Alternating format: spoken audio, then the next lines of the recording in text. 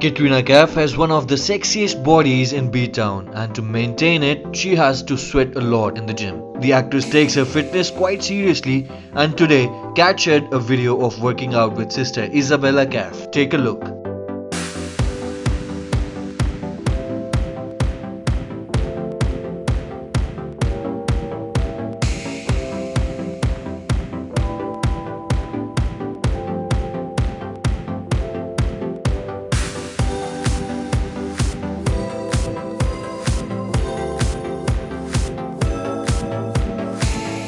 Katrina has even been named as a taskmaster by Alia Bhatt. Both of them used to work out together and Kat even jokingly yelled at Alia many a times if she would act lazy in the gym. 100, 101, come on Alia, it's nothing.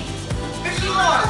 103, come on, 104, 105, 106. Come on Alia, you have to spin harder straight, 107,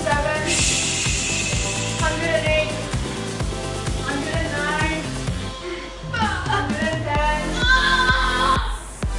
Come on, back straight, energy, 112, 113, come on, only 55 more. Well, guys, do you love Katrina's body too? Let us know in the comments below. And don't forget to like, share and subscribe to our channel.